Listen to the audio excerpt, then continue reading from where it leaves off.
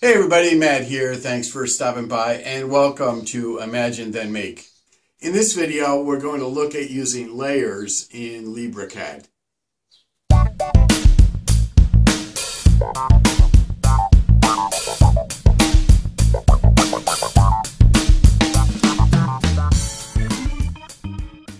Now I'd like to show you something else you can do because you're using layers. So off camera, I created layer number four I just named it circles and when I make it visible it's just a whole bunch of circles the center of which are on different grid points and you can see the circles all have different diameters. So what I'd like to do now is create another layer.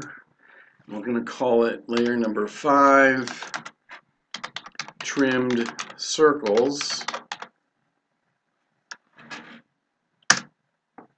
And what I'd like to do is copy everything that's on layer number four onto layer number five, saving the original still on layer number four, so that I can switch to layer number five and modify what's on layer number five, knowing that I have a copy of the original circles still on layer number four.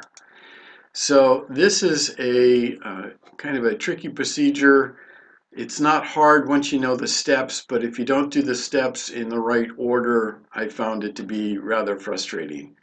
So the first thing I'm going to do is highlight the layer that I want to put the copy onto. So you can see that there's nothing on layer number five.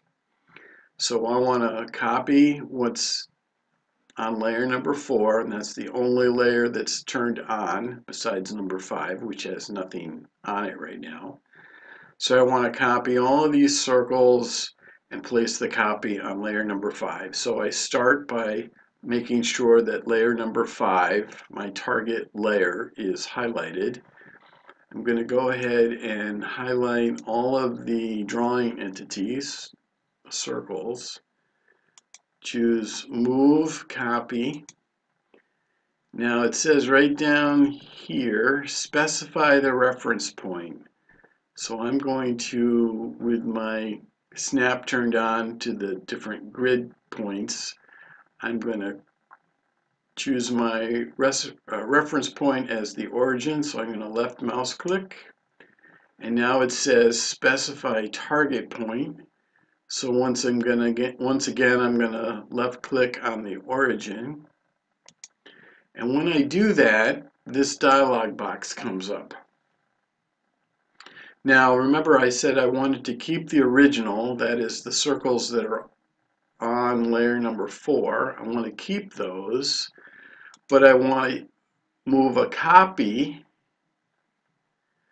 to the current layer, which happens to be layer number five, which I highlighted before I started this whole procedure.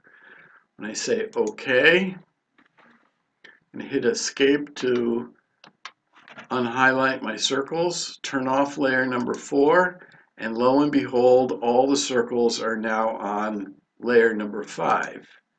If I turn off layer number five, they all disappear. If I turn on layer number four, there are the original circles.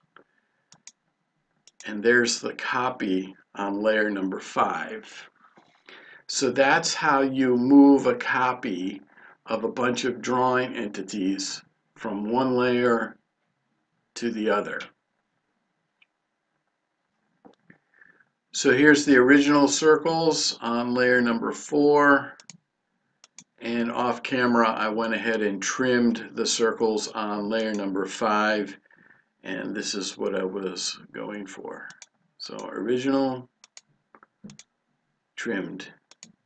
So I hope you get the idea that you can use the move copy command to copy drawing entities from one layer to another so you can keep the original while you modify the copy.